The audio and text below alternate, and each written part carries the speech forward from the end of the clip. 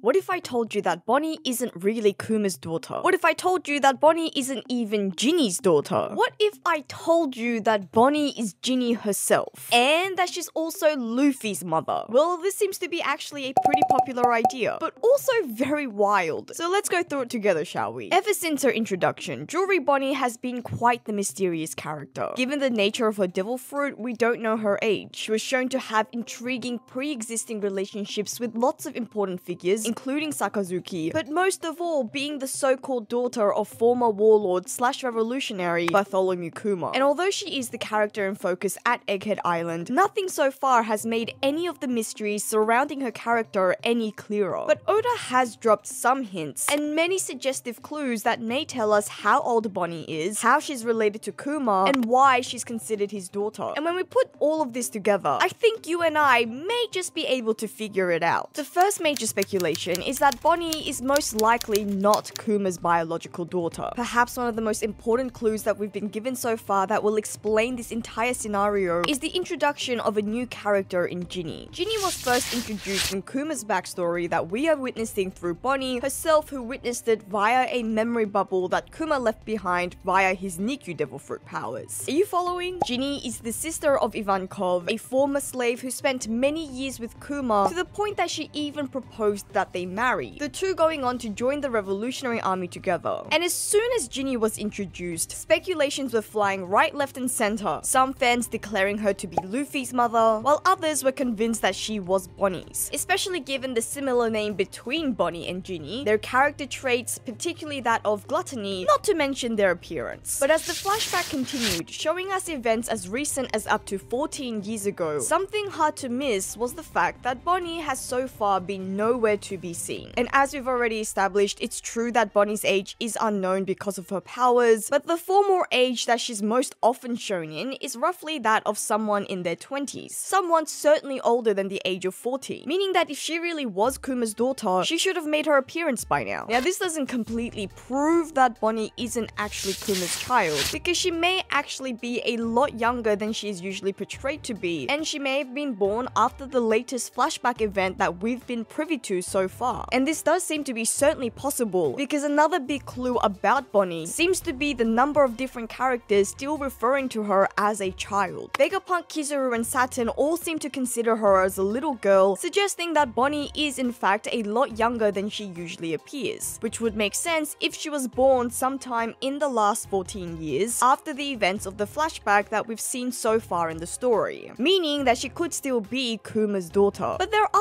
a few other details details that seem to contradict this. Firstly, the most obvious one being the fact that Bonney and Kuma don't share family names. We know Kuma to be Bartholomew Kuma, whereas Bonney is Jewelry Bonney. Although to be fair, Bonney's surname could be more of a nickname, an epithet as a reference to a devil fruit ability that turns the years that she takes from people into sparkly jewels. Speaking of which, I dare you to click the sparkly red subscribe button. This jewel may not grant you age manipulation, but it does give you the power to increase the size of the Joy Fleet. And I'm on a mission to get 100k subscribers, and I'd really appreciate if you would join me. But anyways, another and perhaps more compelling reason why Bonney might not be Kuma's child is that Kuma was shown explicitly not to want to marry, and I'm guessing have kids. When Ginny asked Kuma to marry her, he declined, fearing what would happen to her because of his Buccaneer heritage, similar to what he witnessed with his own parents. Now, you could say that Kuma finally acquiesces once Ginny is saved from from the world government. Maybe the idea of losing her making him finally realize that they shouldn't waste another moment apart. Certainly possible, but I personally find it unlikely. If Kuma was worried about putting people in danger even before Ginny was captured, I don't think her going through that experience would make him any less worried, especially to also bring a child into this world. Besides, the other obvious detail is that Bonney and Kuma simply don't look alike. Kuma is of the Buccaneer heritage, an extremely rare bloodline line that shares its lineage with giants, making them also very large, strong, and sturdy. And Bonney is simply far from that. Even though Kuma himself had a human, non Buccaneer mother, he himself displayed the physical traits of his father. And so Bonney, even if she was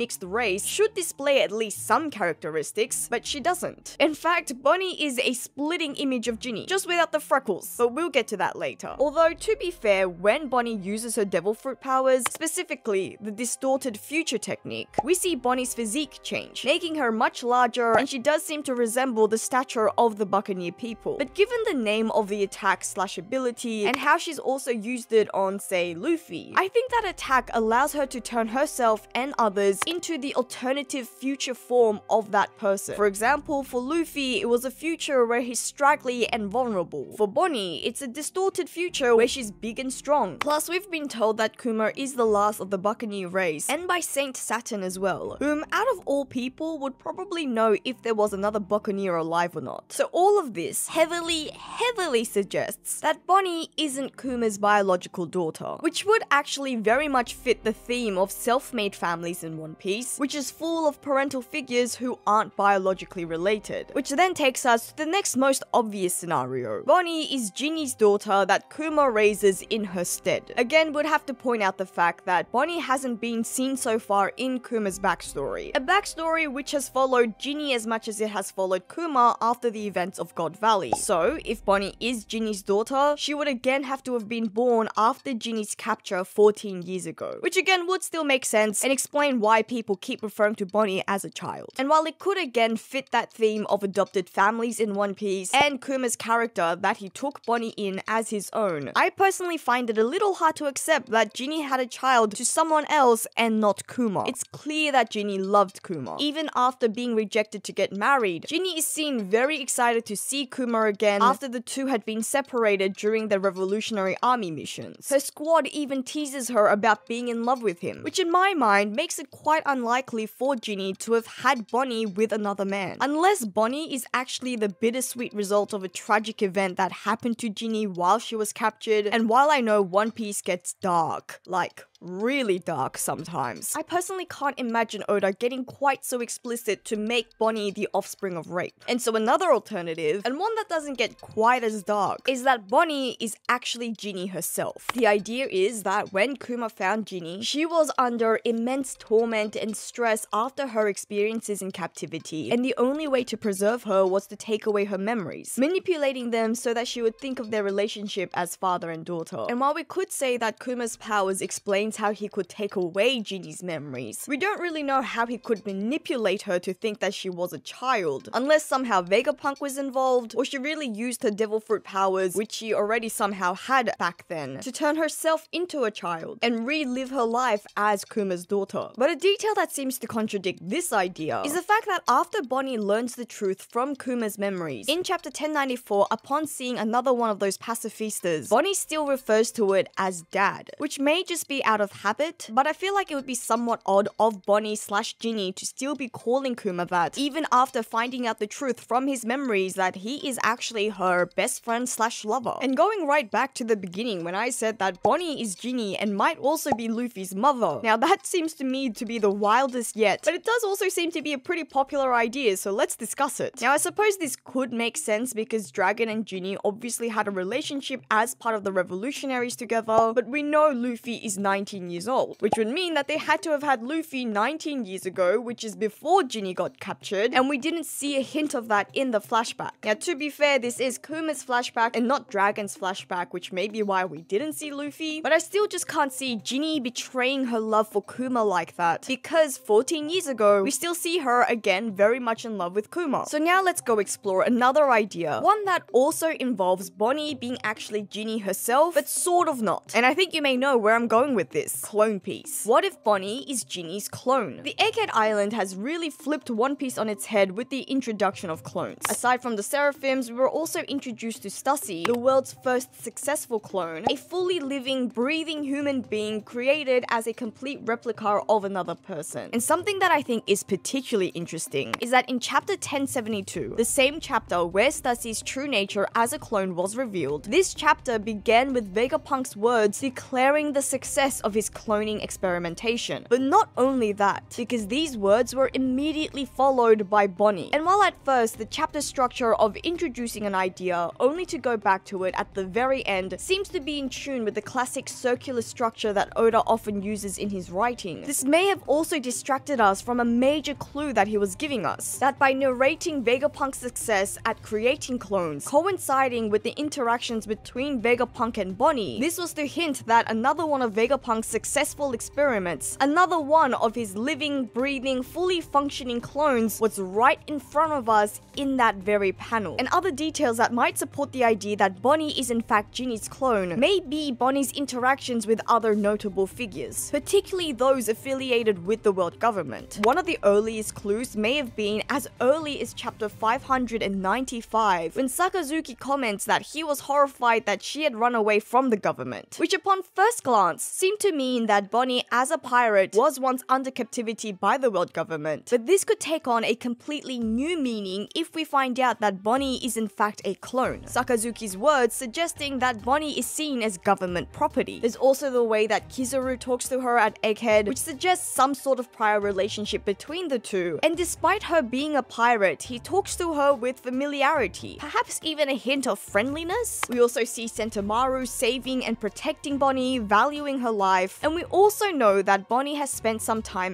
at Egghead already back when she was a kid. But what if Bonney didn't just spend some time there? What if this is the place where Bonney was actually born or created? And this would explain why she's so familiar with the world government high officials. We know that both Sentomaru and Kizaru spent a lot of time with Vegapunk, Sentomaru being his bodyguard and Kizaru having been the source of the pacifista's lasers. Not to mention the image of him as a child suggesting Kizaru to have been quite studious and so it seems like he would have spent a lot of time at the lab. This would also explain why the world government thinks they have a claim to Bonney, because she was in fact a product of Vegapunks. But how did this happen? Why would Vegapunk make a clone of Ginny? The scenario that I think would make the most sense as to why a clone of Ginny would be created is if Ginny herself already died. I doubt that Ginny or Kuma would allow the world government to make a clone Ginny in order to fulfill world government purposes. A more likely scenario is if Kuma finds Ginny, saving her from captivity, but unfortunately, he's already too late. Imagine Kuma finds Ginny's lifeless body and tries to save her, using his powers to rid her of all of her injuries and pain, but she still won't come back to life. Because as far as we know, Kuma's powers is limited to taking someone's pain away, not to be able to bring back life. And just imagine how tragically fitting that would be for Kuma's story. A character who wants nothing more than to save as many people as he can, and was granted an ability ability to free people from their pain and suffering, which he has used and done countless of times, but he was unable to save the